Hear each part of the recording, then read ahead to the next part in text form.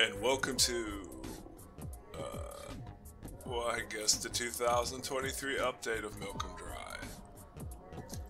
We've had a bit of a change of scenery recently.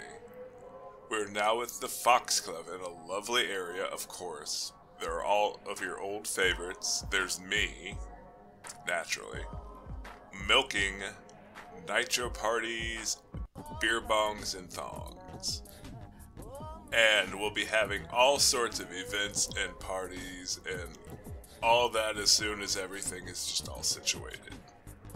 So, if that sounds like something that you would be interested in, maybe, why not come on down?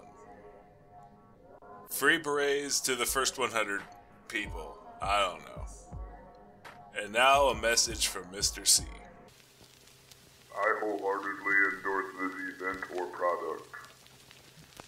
Well, there you have it. And I guess there's nothing left to say, but.